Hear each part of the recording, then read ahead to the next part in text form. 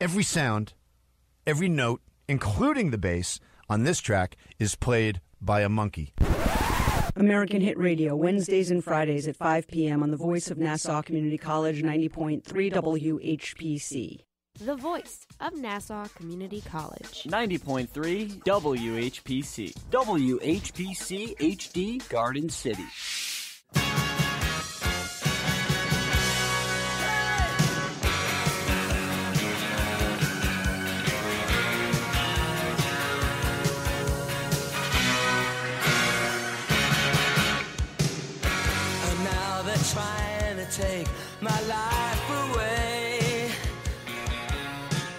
90.3 WHPC.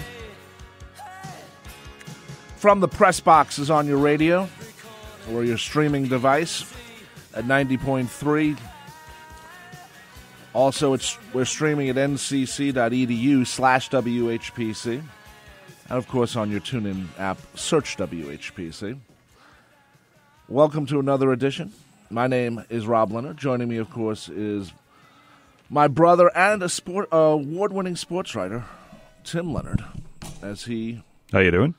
is here every week along with me. Uh, Tim spent a big weekend hanging out with uh, Mike Peters of the Alarm, which we just heard there with 68 guns. Does he does he get sick of seeing you, Tim? Because you go to all the shows. No, No, I think he likes seeing me. Okay, I'm just just checking. You know, just you What- because you go to all the you go to any any Mike Peters show in New York City, you will go to or on Long Island. So Well, what what musician wouldn't like seeing a loyal fan? I don't know. Well, maybe they want to see other loyal fans. You know, does Paul McCartney get sick of seeing you? I, I've never he's never seen me. Well, you go. You should. Yeah, you but I'm should- sitting in the nosebleeds. You should hang out next time. I, you know, he comes in in his uh, his Escalade or whatever, and then leaves. The Macamobile. The Macamobile, just like the Pope Mobile, it's the Macamobile. That's my, And then he, he opens the window and waves, and then you know that's it.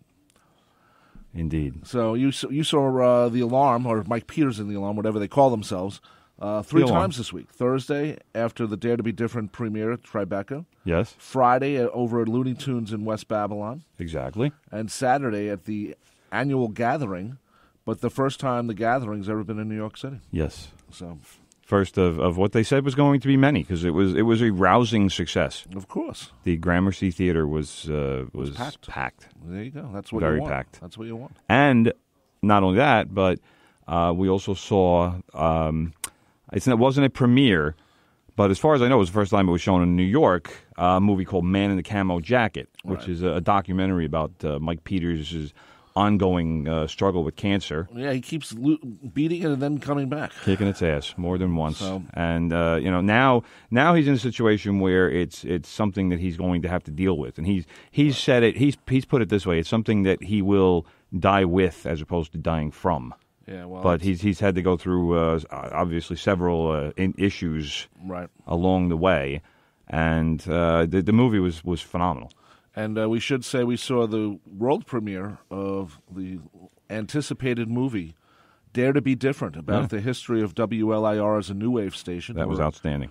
That was a great movie. Um, you know, there was a lot of people who loved LIR in the crowd, uh, including us. Even Including- though, even yes. though, as I told Dennis McNamara two weeks ago when I interviewed him, that I was really angry when LIR went to New Wave or whatever you would call it. Uh, I was I didn't listen for like a year, so. Well, but I told I him that, and he understood. he understood. You you did listen. That's how I'd pick it up because you were listening. Exactly. But at the same time, it was a great movie. Um, you know, most of the jocks were there, or some of them were there. At least you know, Malibu Sue was there. Donna Donna, uh, who started out here at WHPC, we should say. Dennis McNamara, Larry the Duck. You know, um, The voices of my youth. a couple other people too. So um, it was a great movie, and, and as I asked Dennis when I interviewed him a couple of weeks ago, I said, "Hey, uh, you got to have a, a show on Long Island. You know, the same type of setup." Yeah. And he said they're working on. it. They have to get it distributed first.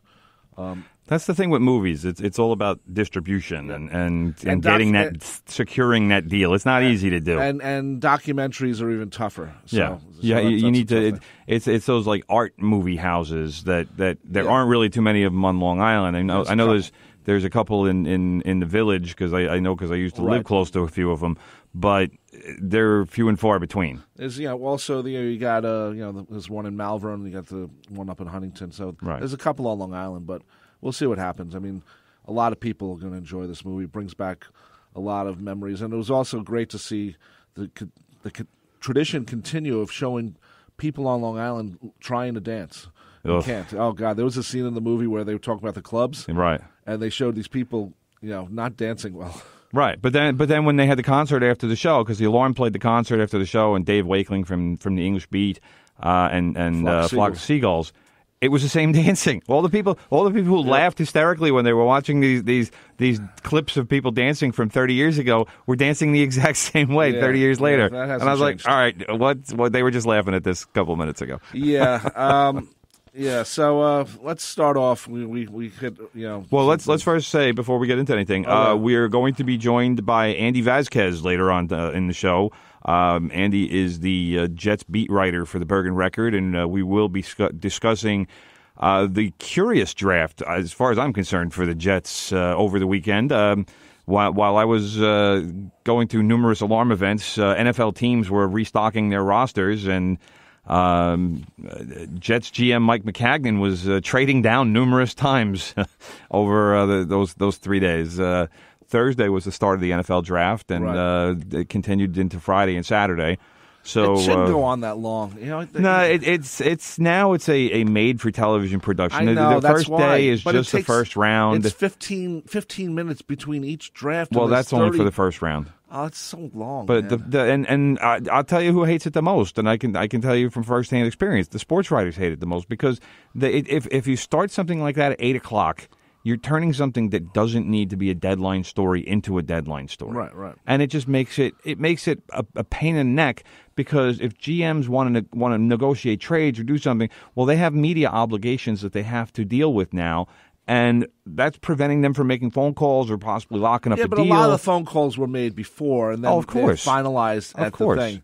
Uh, when does it start? At eight o'clock now. I'm pretty sure it was the Yeah, eight and that's o'clock one of the problems, which Didn't is it- ridiculous. Didn't in the Too old late. days it used to be in the daytime? You know, Well, in the old days, it used to be on the weekend as opposed Yeah. to Thursday night. Thursday, I mean that that now you're turning it into a prime time show. I, I remember we, uh, you'd go down. What hotel was it? It was the Americana or something. no, it was uh, uh, the the uh, the Hyatt, yeah, uh, whichever one it was. the one over by uh, Grand Central. Right. Uh, well, it's now the Grand Hyatt. It would, back then was well, it's Commodore. Well, it was Grand Hyatt for a long Yeah. time. But um, you know, you you you look at this and it's like it used to be like this daytime thing, and it was a lot more people enjoying it. Yeah, because they would do it on Saturday. They Right. would do it on Saturday Remember and when- Sunday you know, because my- it was like twelve rounds as Phil opposed Simms to seven. picked? Yeah. Yeah, and and the the entire hated crowd Hated it. because all Giant fans. Because they didn't know who he was, and and, and half the Giants fans didn't even know what Morehead State was. No one does. You know, it was like Morehead what? Like Yeah. what? You know, and then there was all, all kinds of bad jokes, and Yeah. and then you know, then Phil Simms turned into the quarterback they loved. A Hall of Fame quarterback. Exactly. Let's talk about the Mets, man. The Mets are in trouble. I, uh, as a Met fan, I hate to say this, uh, but the Mets are in trouble. Um, let's That's in big trouble. let's start with Noah Syndergaard. Why? Why was he in the ball game yesterday? Now I know from what I read. That's on Noah. I know, but I also read that they did a pre-game pitching thing, you know, in, in the bullpen just to see how his arm. I mean, they That's said, that's said- every pitcher does that. They, they, they said up. his arm. His, they said his arm was okay, and then you literally saw him grab his arm after he pitched, and then it was over. I mean, that is a, a horrible, horrible thing for the Mets. Um, I don't know, man. You know, Again, that's- I that's- also was to me, reading that's that he was Noah. over. He was over pitching, trying to prove himself. Maybe you should. Maybe you shouldn't be throwing hundred miles an hour. It's great you can do it. Maybe you throw ninety four. You know, That's not really anything that you can. I mean, you can you can lay off a little bit and not throw your your your your a fastball, so to speak, but what you're saying and putting it into practice are really two different things. well. It, and it's- and Noah Syndergaard's gift is is that he can throw 100 miles an hour and that he can do it for an extended period of time, but there are limits to what the human arm is capable of doing for an extended period. And this is something that people, especially this season, when Syndergaard was talking about uh, how he was you know, looking looking to increase his velocity, and and uh, you, you start to wonder, it's like, all right, why does he need to increase his velocity? He already throws 100. He doesn't need to do it. You know, he doesn't need to throw 102. No. There's really not that much of a difference when when you're when you're cracking triple digits. So you know, and he's throwing a, a 94 mile an hour slider, a 92 mile an hour slider, which is, is most guys' fastballs. So the amount of torque on the arm required to throw some of these pitches is incredible.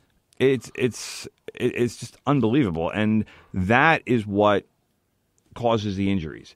So Syndergaard right now he had an, he had an issue after his last start, and the Mets wanted to give him an MRI, and he he rejected it.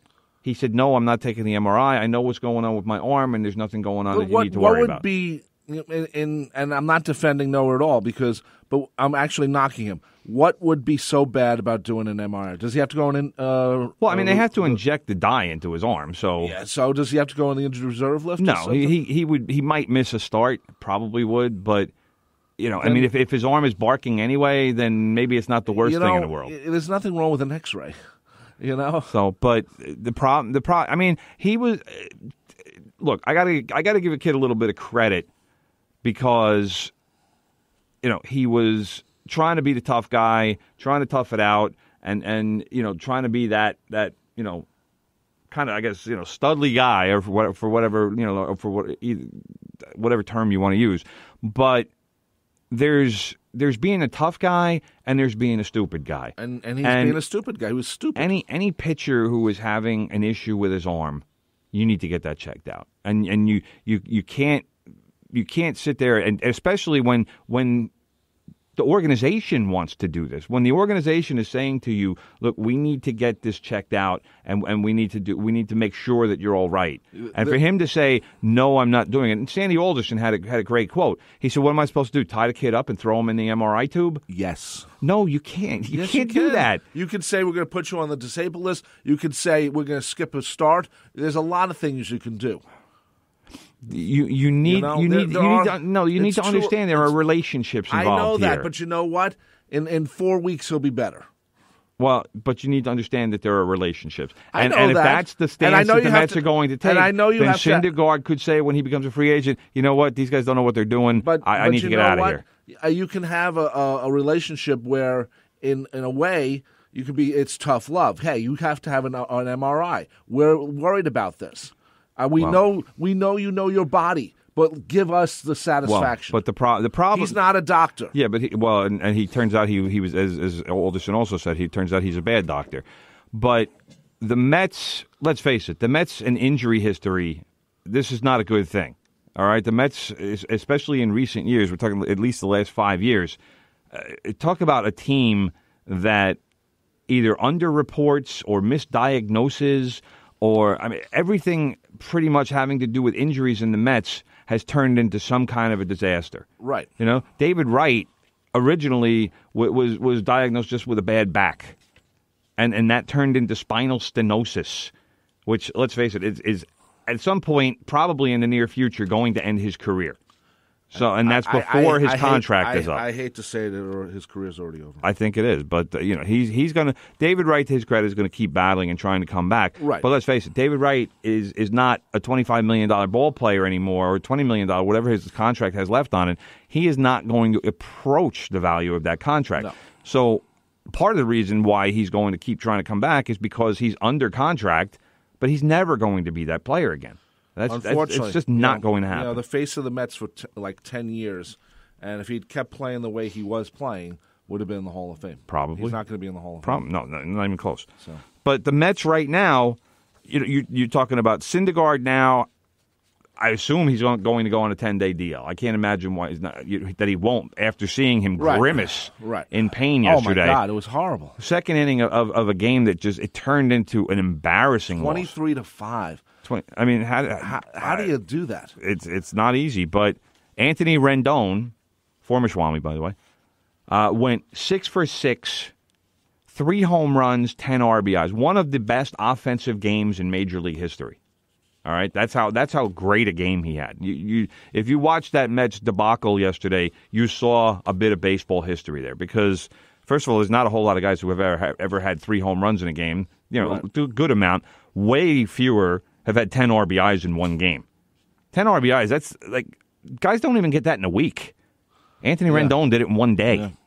All right. So 23 to 5, Kevin Plawecki wound up pitching. The catcher came in to pitch. Bryce Harper lit him up and hit a tape measure bomb. Uh, and uh, Matt Wieters, the uh, free agent catcher that the Nationals signed in the offseason, he had two home runs. The Nationals hit six home runs yesterday. Uh,